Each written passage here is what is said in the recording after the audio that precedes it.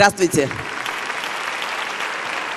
Я хочу пригласить на сцену ректора Южноуральского государственного национально-исследовательского университета, председателя Совета ректоров Уральского федерального округа, вице-президента Российского союза ректоров, доктора технических наук, профессора Александра Леонидовича Шестакова. Добрый день, уважаемые абитуриенты, родители абитуриентов. Может быть, иногда к нам ходят дедушки и бабушки абитуриентов, и мы их тоже приветствуем. В это время очень э, серьезное э, раздумье в каждой семье, э, куда пойти учиться, потому что от того, куда, как начнется путь молодого человека, во многом будет зависеть его дальнейшая жизнь, а и не только его, но и всей семьи. Поэтому мы постараемся вам сегодня рассказать о возможностях, которые даст вам Южноуральский государственный университет. У нас здесь есть несколько слайдов, которые показывают Э, место э, нашего университета, который занимает в системе образования страны и значит, в международном э, сообществе. Вот в прошлом году вышел рейтинг успешности выпускников университета. Южноуральский государственный университет оказался на четвертом месте.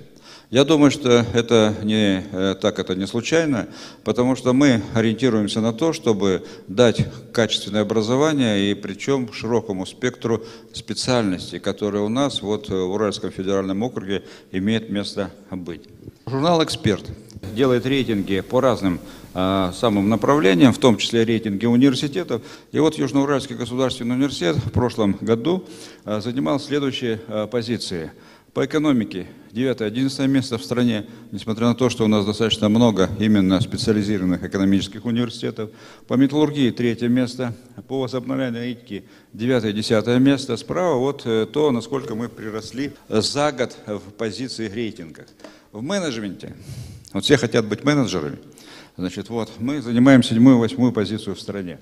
Значит, в энергетике шестую позицию, в компьютерных науках десятую и двенадцатую позицию. Это тоже достаточно э, широкое, э, значит, э, серьезное место.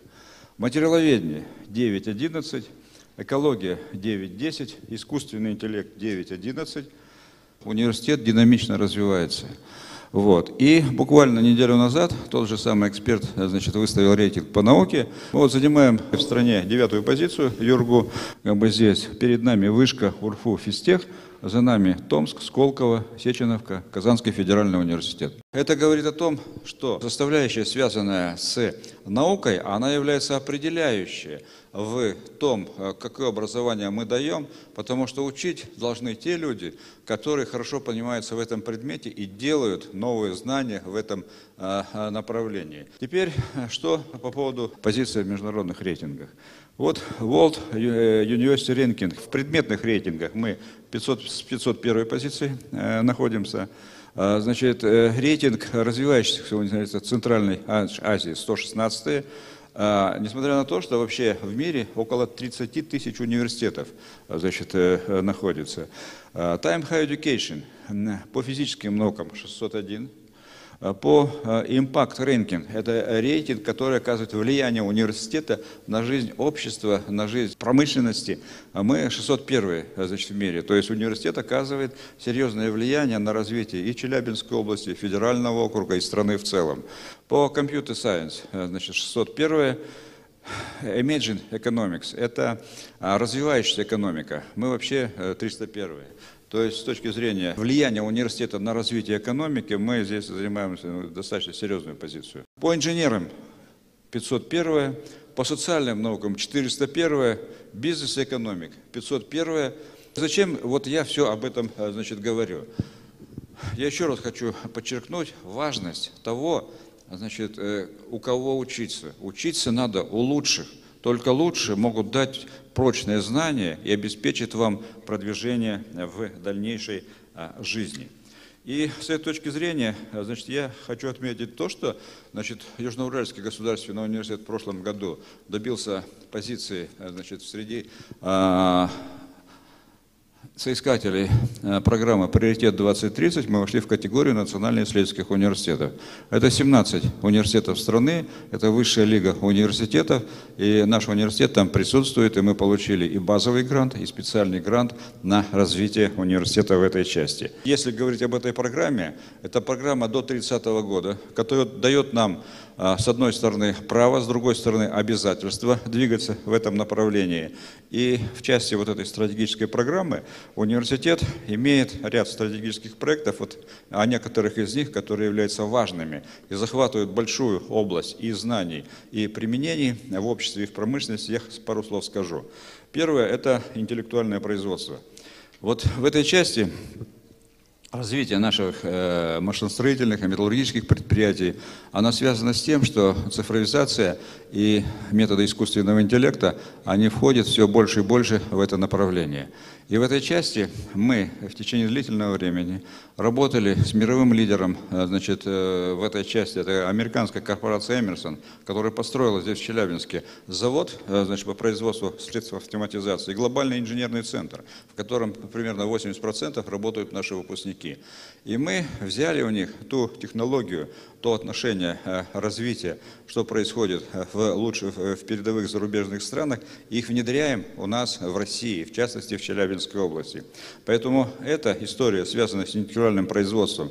Это вообще, говоря, развитие тех технологий, которыми являются, значит, американцы гордятся и пытаются их, значит, саморазвивать во всем мире.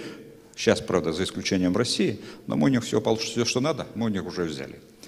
Э, поэтому там есть и беспроводные сенсорные сети, и цифровые двойники, и обработка больших данных значит, на основе метода искусственного интеллекта, и информационная безопасность в различных системах, и квантовые технологии.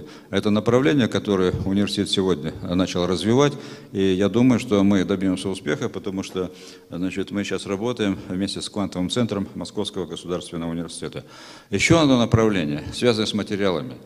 Область Челябинская, она область, которая достаточно сильно связана металлургией, машиностроением, а результатом этого различные материалы.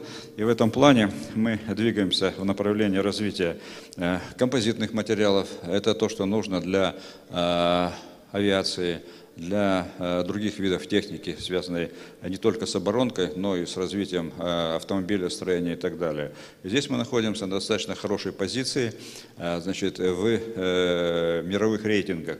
Здесь это высокоэнтропийные сплавы, которые позволяют упрочнять значит, многие детали, узлы наших машин и систем, для того, чтобы они были лучше, для того, чтобы дольше работали и для того, чтобы работали в тяжелых условиях. Это различные материалы для сенсорики и еще ряд вопросов. Сегодня мы буквально, я скажу, э, года три назад э, сконцентрировались на вопросах, связанных с экологией. Значит, экология – это нужна э, значит, для Челябинской области. И это не только для Челябинской области, но это вопрос, связанный с, вообще говоря, страной. У нас э, не больно-то хорошо в этом плане. Здесь мы занимаемся и экономонитором, э, значит, мониторингом и воздуха, и воды, и очисткой воды, и переработкой отходов. И я должен сказать, что э, вот буквально нам совсем недавно поступило предложение э, создать систему мониторинга, а, значит, то, что у нас выбрасывается из труб, причем удешевить эту систему, э, значит, на порядок, а может быть больше. Значит, и вот есть идеи, если нам удастся такую систему сделать, вот с Аленой Александровной вчера это дело обсуждали, директор Института естественных и точных наук, то мы выйдем в лидеры э, значит, нашей страны по развитию вот этого значит, направления. Но еще могу сказать, что с точки зрения вот новых технологий мы занимаемся вопросами, связанными с возвращаемой ракетой. А, значит, вот Илон Маск, у него двухступенчатая ракета, идея государственного ракетного центра. Это одноступенчатая ракета с многодвигательной установкой, которая работает на общее тело. Значит, в этом плане работают а, американцы, китайцы, в России работает Южноуральский государственный университет. И те основы технологий, которые на демонстраторах мы сегодня значит, развиваем, они показали наш потенциал. А, значит, буквально две недели назад мы испытали первый двигатель на водороде. А, значит, таких двигателей вообще нет пока в мире. Значит, самое, и мы готовы сделать такую многодвигательную установку, ставим задачу сделать это к Иннопрому. Это большая выставка всероссийская, которая проходит в Екатеринбурге. Вот я говорю об этом потому, что университет развивается, занимается крупными проектами, проектами важными для развития нашей страны, проектами звонкими значит, в мировом значит, пространстве. И нам нужны молодые люди, которые придут учиться в университет, будут учиться хорошо и создавать вот эту новую технику в самых разных направлениях. Потом, теперь об образовании.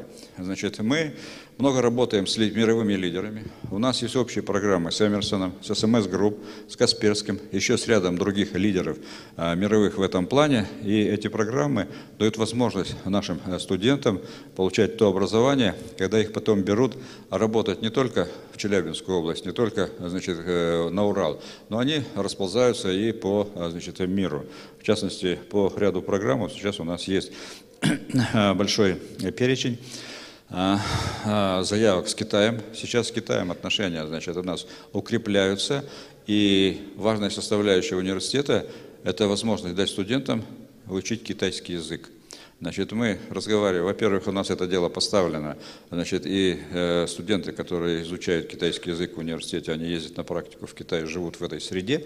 Значит, во-вторых, сейчас мы ожидаем бурный рост значит, э, спроса на специалистов э, китаеведов.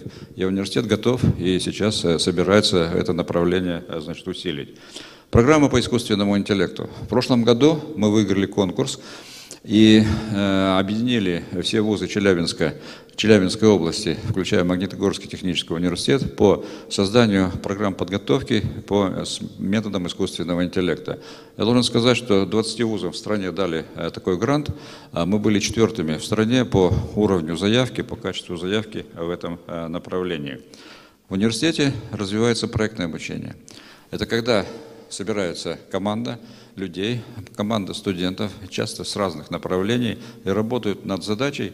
Эти задачи сгенерированы не у нас, это задачи сгенерированы нашими индустриальными партнерами. Потом они значит, э, расходятся кто куда, кто на это предприятие, кто идет в магистратуру, в аспирантуру, значит, а кто создает свои собственные а, предприятия. И э, эта система в университете отлажена и будет дальше развиваться. Наконец, мы изучаем английский язык все годы. Значит, требования к тому, чтобы студент попал в эту программу, он должен э, хорошо учиться, э, значит, э, вот, у него должны быть успехи в изучении языка, но должно быть желание. Третье. И тогда мы его до бакалавриат, магистратура и дальше аспирантура, все эти годы э, учим языку в университете, и дальше он выходит свободным, с владением этого языка.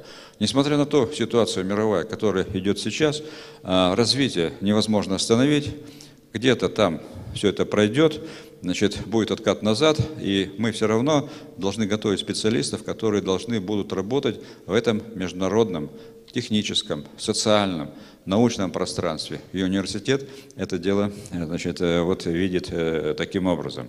И сейчас мы готовимся к программе передовых инженерных школ. Буквально она должна вот-вот выкатиться. На следующей неделе э, постановление правительства уже есть по этому поводу. И здесь мы сориентировались на цифру, цифровизацию, на обработку данных на основе цифровых технологий. Главный Наш партнер – это компания «Папилон», которая является чемпионом России значит, в этой части. И мы вместе с ними, вот буквально на прошлой неделе были в Институте объединенных ядерных исследований, и значит, э, кооперацию будет действовать в том числе и с ними. А этот институт делает коллайдер, почти такой же, как в ЦЕРНе. И технологии, которые имеют место быть в России – они будут развиваться. И задача, которая сейчас у нас стоит, это дать не столько публикаций, которые мы научились делать, значит, сколько давать новые технологии, которые продвинут нашу страну и сделают ее мощнее, и люди, которые значит, там э, с разными амбициями значит, смотрят по-разному а, на а, страну, будут Россию признавать. Потому что демократы понимают только силу. А Южноуральский государственный университет как раз эту силу дает за счет знания, за счет военного учебного центра, за счет тех возможностей, которые дает Южноуральский государственный университет. И еще что важно для значит, молодых людей, мы начинаем развивать студенческое предпринимательство. Значит, и эта тема э, начинает придавать, давать уже серьезные успехи. В частности, мы сделали майнеры, это блоки курсов по предпринимательству, которые мы даем студентам. Значит, в ВУЗе есть точка кипения, где сотни студентов приходят, обсуждают идеи, что можно сделать, каким образом можно их идею продвинуть, на этом деле как мы заработать. Мы сделали три лаборатории, где студенты могут работать, значит, и делать своими руками на основании того, что они придумают или не придумают, или где-то увидят, которые можно, значит, использовать э, в э, значит, э, реальной действительности. Это лаборатория моделирования прототипирования, вернее, когда они могут делать э, детали на основании того, что они придумали. Это лаборатория обработки дерева и металлов и лаборатория электроники, где они могут э, прийти со своей идеей, разработать прибор, э, значит, его спроектировать, спаять и отладить. Значит, вот эта составляющая дает возможность молодым людям, у которых есть а, идеи вот, начинать развиваться в университете именно с точки зрения такой практической а, значит, направленности. И здесь я могу отметить то, что вот у нас а, в университете э, был выпускник, значит, э, вот э, фамилия его Стрункин, который в свое время уехал в Соединенные Штаты, там, значит, делал, значит, умные дома, как говорит Задорно, для тупых американцев – Значит, у него была компания э, в Китае, значит, которая делает эти аппаратуру для этих домов. А в учредители входил, входил э, значит, правительство Китая, э, значит, вот такой человек, который значит, там продвинулся. Сейчас он, у него, значит, он участвует более чем в 50 проектах по значит, развитию значит, различных технологий, которые внедряются в производство. И вот мы с ним значит, работали целое лето, вернее, прошлое даже не лето, а значит, зиму, вернее, и мы с ним а, завели э, мы систему, и сюда пришли консультанты, лучшие консультанты нашей страны, для того, чтобы из э, студентов, которые имеют идею, а, значит, довести вот эту идею до реального проекта, который будет а, зарабатывать и развиваться значит, вот, не только в нашей области, но и в стране, а может быть и выйдет на международный уровень. Вот чем дышит университет. Кроме учебы, науки, мы любим спорт. У нас 13 числа, 13 мая большой спортивный день, где мы здесь на стадионе Елесиной принимаем практически весь город, потому что Южноуральский государственный университет – это спортивный вуз, и мы участвуем, э, поддерживаем более 20 видов спорта э, в нашем университете. И надо отметить, что на прошлой зимней Олимпиаде наша выпускница взяла бронзу э, в эстафете в, на э, лыжных гонках. И я думаю, что это не последний успех выпускников Южноуральского государственного университета. Но еще важна культура. Надо не только, значит, э, вот когда заходишь в ВУЗ, шапку снимать. Нужно еще и воспринимать музыку, литературу, значит, другие виды искусства. И у нас на этой сцене, значит, существует так называемая студенческая филармония, в которую лучшие коллективы нашего города, а наших гостей, которые приезжают к нам, дают концерты для студентов, преподавателей, ну и гостей нашего университета. Сейчас мы планируем, значит, вот в мае Э, значит, последний э, такой концерт на ступенях университета. В прошлом году, когда был ковид, мы значит, это опробовали, и выступал духовой оркестр очень успешно. И значит, сегодня, вернее, не сегодня, а вот э, в последние числа мая, когда мы проводим такие концерты, мы это сделаем открыто на ступенях Южноуральского государственного университета, поэтому следите за тем, что есть на сайте университета, приходите, потому что по большому счету, Южноуральский государственный университет – это ваш университет. Спасибо. Мы очень рады приветствовать вас в стенах Южноуральского государственного университета и хотим сказать, что, конечно же, в первую очередь каждый студент поступает в ВУЗ, чтобы получить образование, чтобы получить пласт знаний, чтобы стать лучше, чтобы подтянуть себя по каким-либо предметам, но на данном этапе Существует очень большое количество различных видов деятельности, которые охватывают Южноуральский государственный университет и в которые мы хотим вас пригласить. Какими плюсами Какие плюсы есть заниматься научной деятельностью? Итак, это в первую очередь это баллы к вашей стипендии за написанные статьи, патенты и различные программы. Во-вторых, это возможность поехать на различные научные конференции, а также на форумы по всей стране. Третье – это знания для учебного процесса. Если вы уже имеете при себе хотя бы одну написанную статью, то в дальнейшем вы можете использовать ее как основу при написании вашей э, выпускной квалификационной работы, чтобы не писать его с нуля. Ну и в-четвертых, это возможность выиграть стартап, о которых было уже озвучено, для реализации своего бизнеса или уйти глубже в науку и попасть в Сколково. А, следующий момент — это проект «Понеслось», когда студенты приходят в университет. Существует такой проект, один из самых крупных и масштабных во всей внеучебной деятельности нашего университета. Студенты обучаются четырем навыкам компетенций по формату 4К, э, где от студентов получают информацию о том, как развиваться в университете, какие есть возможности, углубляются в каждое направление и получают те навыки компетенции, которые помогут им в дальнейшем.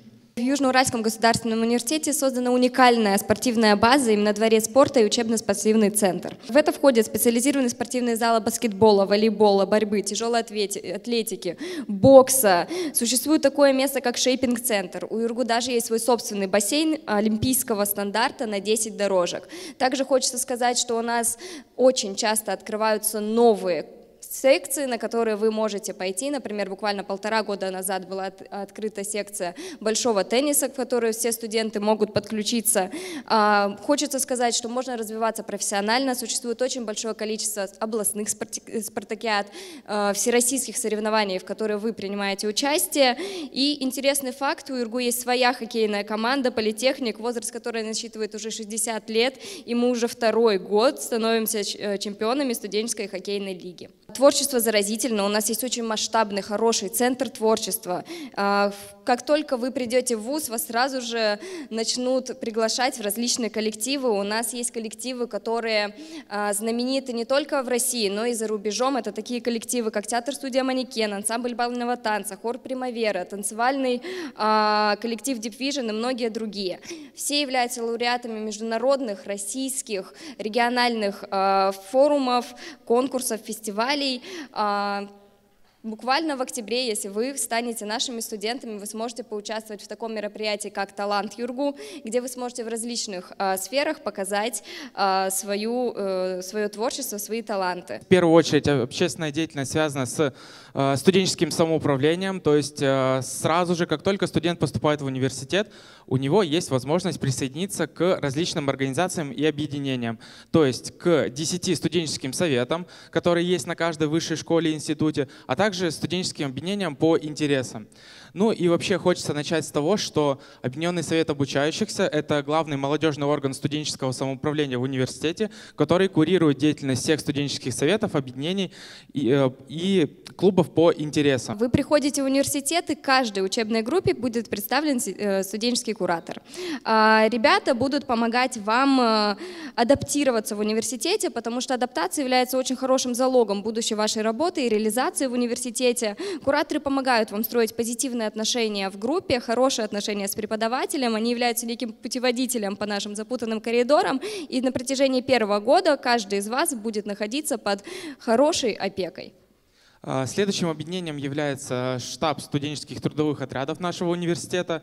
А, это, можно сказать, гордость нашего университета. Ребята, а, помимо организации мероприятий, также выезжают летом, в летний период времени и в зимний период времени на целину, то есть это летнее и зимнее трудоустройство. Есть такие направления, как вожатые в детских спортивных лагерях, проводники и строительные трудовые отряды. А, для тех, кто любит помогать и хочет подключиться к добровольческому движению, у нас существует целая организация, именно волонтерский центр. Это команда молодых активных ребят, которые хотят сделать мир лучше. На данном этапе у нас существует несколько направлений, в которые вы можете принять участие. Это социальное волонтерство, донорское волонтерство, спортивное и ивент-волонтерство. Также волонтерский центр набирает людей на работу на различных мероприятиях всероссийского масштаба. Давайте признаемся честно, всех всегда интересует вопрос, если я бюджетник, если я хорошо отучился, поступил в университет, сколько же я получу, как это будет проходить, каким образом мне это будет выплачиваться. Смотрите, вы поступаете в наш университет, и в сентябре на второй и третьей неделе вы получаете стипендиальную карту. Ее получает каждый бюджетник. После этого каждый месяц вам будет выплачиваться государственная академическая стипендия. Она выплачивается ежемесячно, зависит от успехов в учебе и составляет в первый семестр 2000 рублей. После этого все зависит только от вас. У вас будет повышенная государственная академическая стипендия.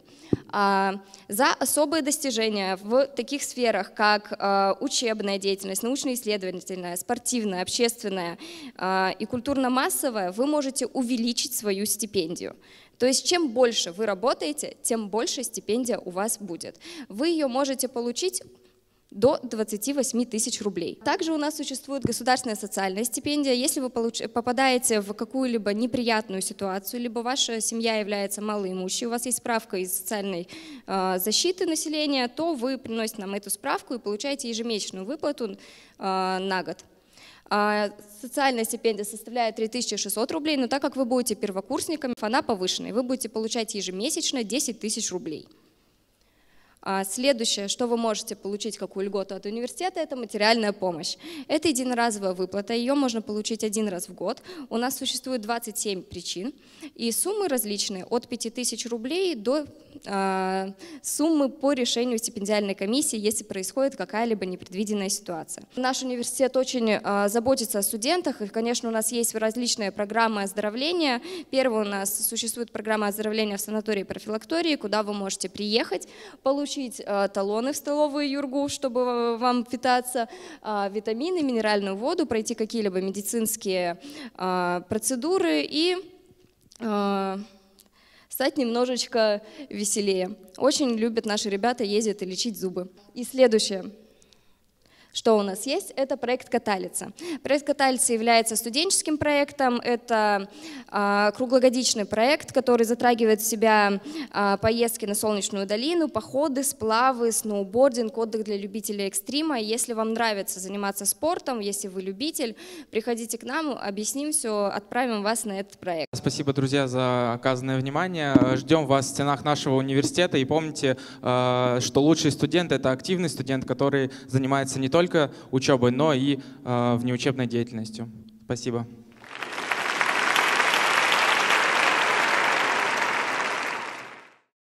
Добрый день, уважаемые абитуриенты. Добрый день, уважаемые родители. На протяжении уже э, нескольких последних лет совершенно точно наш военный учебный центр является лучшим в структуре военного образования в гражданских вузах Министерства обороны. Но помимо этого не только лучшим, но и крупнейшим среди военных учебных центров нашей страны. Нам 77 лет, мы всего лишь на год моложе нашего университета. Начиналась наша история с военной кафедры, затем факультет военного обучения, и вот с 2019 года мы стали военным учебным центром. Крупнейшим мы являемся не только по количеству обучающихся, не только по объемам подготовки, но и по тому спектру военно-учетных специальностей, по которым ведется обучение. Мы готовим специалистов для Главного автобронетанкового управления Министерства обороны, для Главного управления связи, для Главного ракетно-артиллерийского управления, для э, восьмого управления Генерального штаба, это служба защиты государственной тайны Министерства обороны. И вот буквально несколько месяцев назад было принято решение об открытии у нас новой военной учетной специальности в интересах воздушно-космических сил. Мы будем готовить специалистов по беспилотным летательным аппаратам.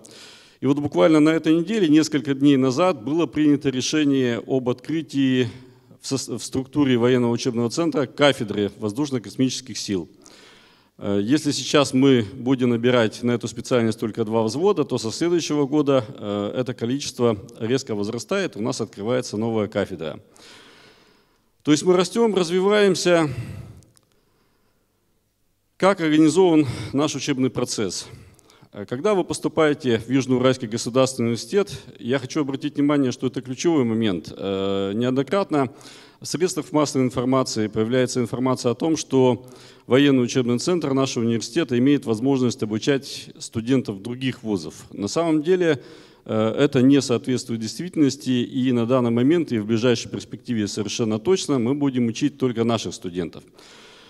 То есть студент поступает в университет, на первом курсе подает заявление на участие в конкурсном отборе.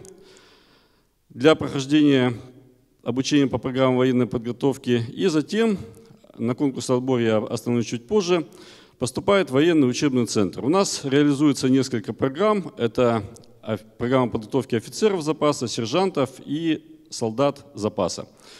Различаются они, разумеется, э, содержанием образования и продолжительностью. То есть офицеры учатся два с половиной года, сержанты два и рядовые полтора года. И затем по окончании университета, то есть вы одновременно проходите обучение в университете и в военном учебном центре, затем по окончанию военного учебного центра, по окончанию университета, тому, кто все успешно завершил, присваивается соответствующее воинское звание в зависимости от того, по какой программе подготовки он проходил обучение. То есть это либо лейтенант, либо сержант, либо рядовой, и выпускник наш зачисляется в запас вооруженных сил без прохождения военной службы. То есть в мирное время призыву наши выпускники не подлежат. Но в то же время, и у нас достаточно много таких примеров, э, вы можете добровольно, я подчеркиваю, добровольно изъявить желание и поступить на военную службу по контракту, причем можно говорить не только о вооруженных силах, но и о любых других силовых структурах, где предусмотрена военная служба. Среди наших выпускников есть и полковники, есть и генералы, но, собственно говоря, я сам в 1996 году закончил наш университет, тогда это был приборостроительный факультет.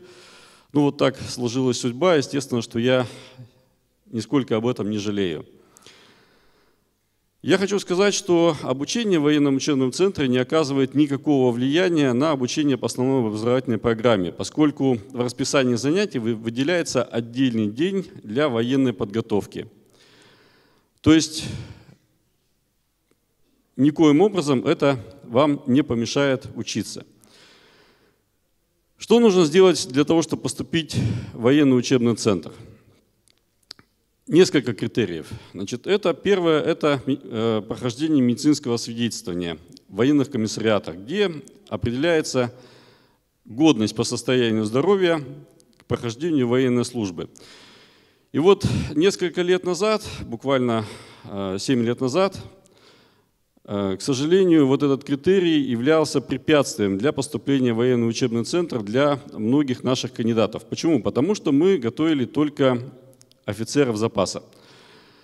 Требования к здоровью офицера гораздо выше, чем требования к здоровью солдата и сержанта, и поэтому многие наши студенты не имели возможности обучаться в военном учебном центре. Но с началом подготовки солдат и сержантов запаса эта проблема, собственно говоря, исчезла, поскольку сейчас ситуация такова, что молодой человек, который годен по состоянию здоровья к военной службе, он может обучаться в военном учебном центре. Даже если по состоянию здоровья он не годен как офицер, на солдата или сержанта он вполне может претендовать.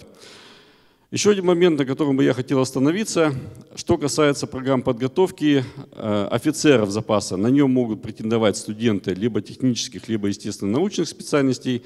А вот что касается солдат и сержантов запаса, мы набираем абсолютно со всех наших специальностей и направлений подготовки. То есть неважно, гуманитарий, технарь, либо математик, физик, химик, он всегда может учиться в военном учебном центре.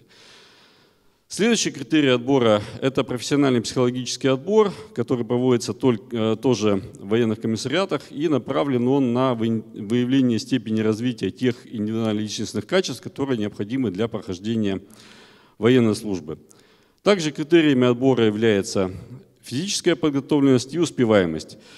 И вот когда студент прошел весь этот конкурсный отбор, выстраивается рейтинг, ну, в какой-то степени аналогичный тому, который выстраивается при поступлении в университет, и уже по результатам этого рейтинга, в зависимости от совокупности всех э, тех показателей, которые были показаны при прохождении конкурсного отбора, происходит распределение на ту или иную программу подготовки. То есть кто-то зачисляется на офицера запаса, кто-то на сержанта, кто-то на солдата запаса. Но я хочу сказать, что вот те количественные показатели набора, которыми, которым обладает наш военный учебный центр, дают возможность практически любому нашему студенту поступить и пройти у нас обучение. Далеко не каждый университет, далеко не каждый военный учебный центр может предоставить такую возможность, потому что в абсолютном большинстве военных учебных центров объемы подготовки в разы меньше, чем в нашем университете. Поэтому, подводя итог, я хочу сказать, что университет предоставляет на самом деле уникальную возможность, по сути, пройти военную службу в период обучения в университете. А уж как дальше распорядиться тем преимуществом, которые вы получаете, то есть либо остаться в запасе вооруженных сил без прохождения военной службы, либо все-таки посвятить свою жизнь служению Отечеству, это, естественно, каждый решает сам, это выбор за вами. Поэтому мы ждем вас в университете и военном учебном центре. Спасибо.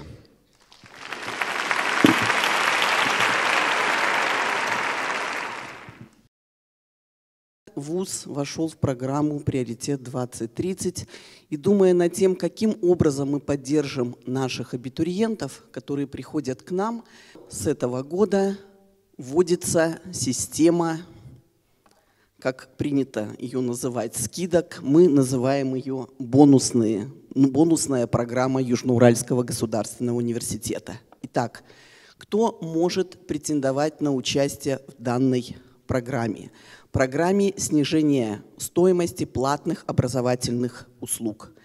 Это ребята, которые поступают на программу бакалавриата или специалитета на базе среднего общего образования, то есть только закончившие школу. При этом эти ребята должны сдать единый государственный экзамен или же, если это иностранные граждане, закончившие школу у себя дома, за рубежом, или российские граждане, закончившие школу за рубежом, они имеют полное право претендовать на снижение стоимости платных образовательных услуг в следующей степени. Скидка в размере 30% предоставляется абитуриентам, поступающих на контрактное обучение, если они набрали 240 и выше баллов. Или же, сдав единый государственный экзамен, это россияне в основном, или же сдавшие вступительные внутренние испытания Южноуральского государственного университета. На них могут претендовать только иностранные граждане или россияне, закончившие школу за рубежом. 20% скидки имеют возможность получить абитуриенты, которые набрали в процессе экзаменов – от 239 до 200 баллов. 15% скидки может получить абитуриент, который набрал от 199 до 170 баллов. Следующей категорией, которая может претендовать на получение скидки в размере 10%, являются выпускники физико-математической школы Южноуральского государственного университета, которые набрали от 169 до 155 баллов при сдаче единого государственного экзамена или внутреннего вступительного испытания.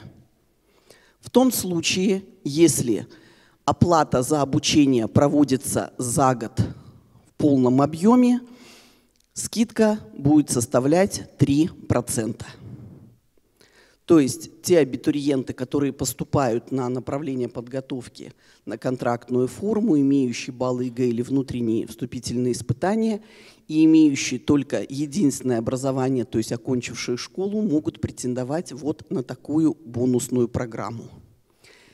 У нас в ВУЗе есть ряд направлений подготовки и специалитета, где абитуриент предоставляет только два результата ЕГЭ и сдает творческое испытание или внутренние вступительные испытания по профилю выбранного направления. Это студенты, абитуриенты, которые поступают на направление подготовки архитектура, дизайн архитектурной среды, технология художественной обработки материалов, журналистика – педагогическое образование, филология, журналистика, физическая культура, дизайн и специалитет таможенное дело. Для них при назначении скидки учитываются результаты двух экзаменов в формате единого государственного экзамена или двух вступительных предметных испытаний без учета творческих испытаний. Итак, свыше 160 баллов за два экзамена в формате ЕГЭ или внутреннего вступительного испытания, скидка будет составлять 30%. От 159 до 133 баллов 20%. При сдаче на результаты от 132 до 113 баллов 15%.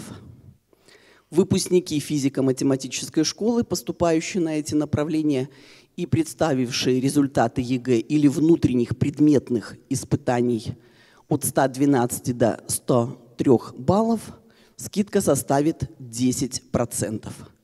Скидка за полную предоплату года обучения для ребят этих направлений и специалитета также составит 3%.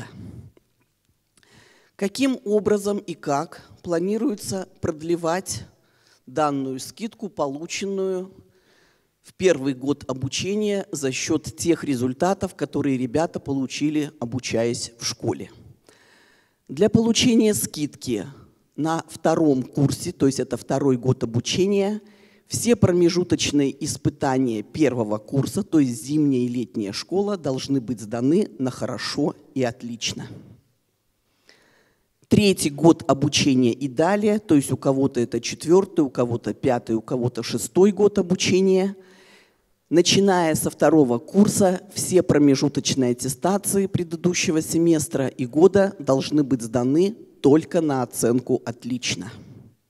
Кроме этого, нельзя иметь академических задолженностей, нужно выполнять учебный план вовремя, нельзя иметь дисциплинарных взысканий и нельзя нарушать сроки оплаты по договору. В университете существует различная система оплаты обучения по семестрам, по квартально или помесячно в соответствии с тем, договором дополнительным, который заключается с дирекциями институтов или высших школ, и нарушать сроки оплаты нельзя. В этом случае вы не сможете претендовать на получение скидки за обучение. А сейчас еще несколько интересных программ. Итак, бонусная программа, в результате которой в процессе конкурса Наши победители получат карточку, на которую будет зачислено 5000 рублей. В этой конкурсной бонусной программе могут принимать участие студенты, поступившие на первый курс бюджетной или контрактной формы обучения.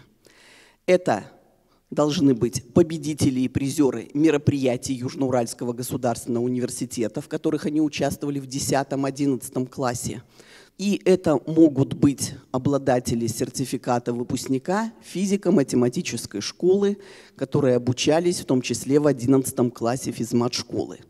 Как можно потратить эти деньги? Пойти с ними просто в открытую среду нельзя. Это бонусная программа для студентов и внутри университета.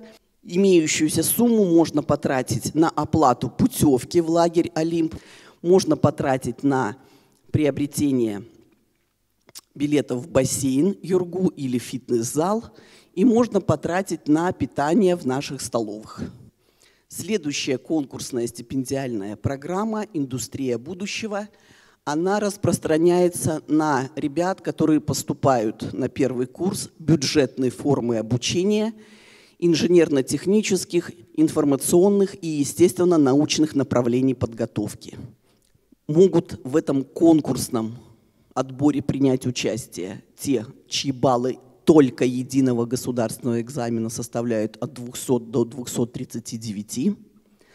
Могут принять участие победители, призеры конкурсных мероприятий, входящих в перечень Министерства просвещения России.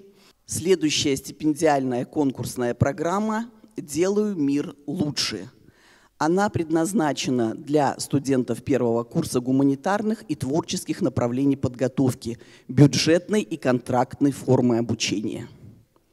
Условия ее участия – это балл единого государственного экзамена от 215 до 249.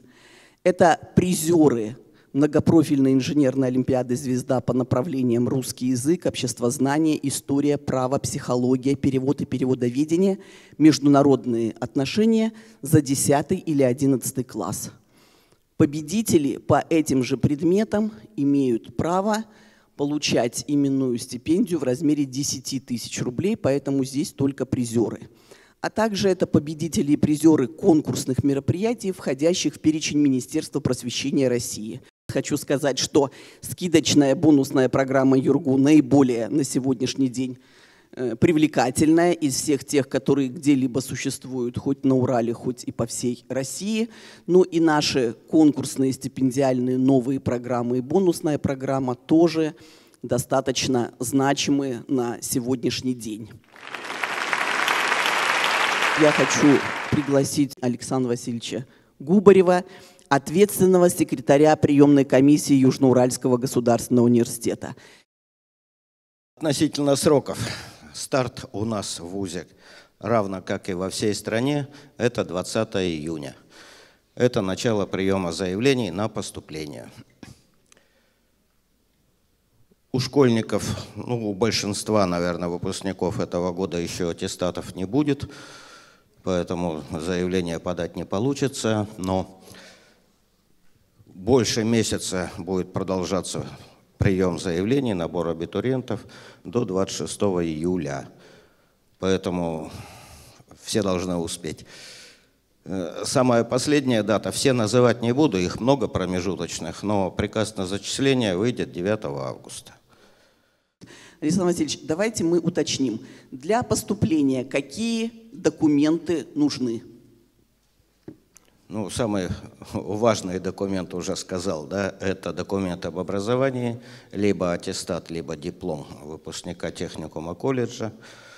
При себе надо иметь паспорт, при себе надо иметь страховое свидетельство, да, потому что нам нужен номер СНИЛС. В тех списках, которые будут публиковаться на сайте университета, фамилий не будет. Будут номера СНИЛС. Александр Васильевич, прошлые два года в связи с э, вот, обстановкой эпидемиологической абитуриент имел право подать просто письменное согласие на зачисление. В этом году мы возвращаемся к тому формату, который был до 2020 года. То есть необходимо ли в обязательном порядке до 3 августа до 18.00 абитуриенту, который выбирает наш вуз для поступления, сдавать оригинал аттестата в приемную комиссию? Обязательно необходимо. Да, вот еще раз повторяюсь, что для того, чтобы быть зачисленным на бюджетное обучение, оригинал документа об образовании до 3 августа должен попасть в университет. И еще раз давайте проговорим сроки подачи документов для тех ребят, которые будут сдавать творческие испытания и имеющие результаты ЕГЭ, или же для тех, кто будет сдавать внутренние вступительные испытания, это иностранные граждане, граждане России, закончившие школу за рубежом и выпускники учреждений среднего профессионального образования, последний день подачи документов для участия в конкурсном отборе – это это записано в навигаторе абитуриента. Значит, ребят, до 9 июля, то есть 20 июня до 9 июля необходимо предоставить документы и написать заявление. Это После для тех, этого, кто да. собрался поступать, например, на архитектуру или на физическую культуру, то есть там, где нужно сдавать дополнительные вот, творческие испытания. Ну, давайте мы их еще раз проговорим. Дизайн, дизайн архитектурной среды, архитектура – Дальше идет педагогическое образование, физическая культура, технология художественной обработки материалов, филология, журналистика. Это там, где у нас есть бюджетные места и где для поступления необходимо будет сдавать творческое вступительное испытание. И это ребята, которые имеют право по закону сдавать внутренние испытания вместо единого государственного экзамена. Для них срок подачи документов ограничен 9 июля. С 10 июля по 25 июля будут проходить вступительные испытания. Все остальные абитуриенты, имеющие единый государственный экзамен, достаточный для выбора того или иного направления, предоставляют свои документы до 26 июля, то есть 25 июля 18.00. Таким образом ограничен срок подачи документов. Ну а затем до 3 августа сдаются оригиналы аттестатов, и с 4 по 9 августа формируется приказ на зачисление. Студенты, которые, абитуриенты, которые претендуют для поступления на контрактную форму обучения, для них эти сроки немного сдвинуты. Фактически до 1 сентября, ну до 31 августа до 31 августа, 1 сентября выйдет приказ ректора о зачислении на контрактную форму обучения. В нашем ВУЗе абитуриенты имеют право участвовать в конкурсном отборе на бюджетные места по скольки направлениям?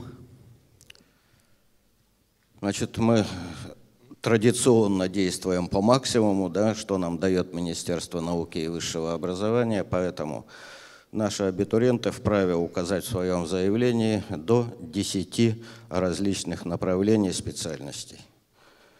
При этом особенность нашего вуза, да, э, то, что эти вот строчки в заявлении нужно выстроить в порядке приоритетности. На первое место ставлю то, что куда больше всего хочу, пониже то, если не пройду на первое, на вторую строчку, на третью и так далее. Да? Э, при этом наша компьютерная система автоматически определяет, куда в каждый текущий момент попадает каждый абитуриент и, соответственно, представляет его к зачислению на эту специальность. Есть возможность подать заявление дистанционно, там уже вам подсказывать сильно некому будет, да, принимаете решение сами, но механизм тот же самый. То есть можно подать заявление, не приходя в ВУЗ, либо через наш портал, либо через госуслуги. Через наш портал удобнее, потому что на госуслугах вот та схема приоритетности, она не работает. В течение всех дней приемной кампании с 20 июня по 9 августа вас будут сопровождать ответственные секретари отборочных комиссий институтов и высших школ и консультационный центр – который возглавляет директор Центра по работе с абитуриентами Иван Иванович Сухих. Кроме этого, будут работать все члены приемной комиссии университета, поэтому в каждый момент времени, в будние дни с 9 до 17, воскресные дни с 10 до 15 часов вас всегда будут сопровождать наши специалисты. Кроме этого, будет подключено в 4 телефона, которые работают 24 часа 7 дней в неделю, поэтому в любой момент времени вам окажут помощь, поддержку, дадут хорошую, правильную консультацию. Кроме этого, начиная с 5 июля по 25 июля в университете каждый день будут проходить встречи с директорами высших школ и институтов, и будут проводиться экскурсии научно-образовательные центры, в лаборатории. Будут организованы встречи с студентами, с Объединенным советом обучающимся, с профсоюзным комитетом, с студенческими кураторами и волонтерами для того, чтобы узнать буквально все. Мы сегодня немного не говорим о нашем еще основном преимуществе, это нашем студенческом городке, но для каждого нашего студента – бюджетной или контрактной формы, имеющий право на проживание в общежитии, то есть это не житель города Челябинска, есть возможность быть зачисленным в наше студенческое общежитие, где созданы все условия и созданы комфортные условия для того, чтобы вы чувствовали себя практически как дома, но даже лучше. Директора общежития вступают в контакт постоянно с родителями наших студентов. И в университете принята модель проведения родительских собраний на первом-втором курсе обучения, как в онлайн-режиме, так и в очном режиме, для того, чтобы все ваши заслуги, ваши родители в полной мере знали, и мы благодарим их за ваши лучшие достижения. Александр Васильевич, подскажите, пожалуйста, вот у нас в ВУЗе существует система, да, принятая, разрешенная в России, когда кроме двух первых прописанных в навигаторе обязательных экзаменов. Третий экзамен идет в альтернативном выборе самого абитуриента. Каким образом и как база которую мы подгружаем из федеральной информационной системы государственной итоговой аттестации, даст возможность самому абитуриенту или нашей системе выбрать лучший результат по альтернативным предметам. Ну, ребят, наверное, в курсе уже, да, то, что альтернативные экзамены, они уже и в прошлом году появились что, например, ну, а, Политехнический институт, самый большой возьму, да, в качестве примера русский язык, математика – это обязательные предметы, школьники их только в формате ЕГЭ предъявляют. И дальше либо, либо физика, либо информатика. Выбирает абитуриент. Может предъявить результат одного экзамена, может двух. Мы сами выберем автоматически наивысший результат. То есть здесь компьютерная система наша будет работать, ну, как и все остальные мы, да, в пользу каждого абитуриента. Спасибо, Александр Васильевич.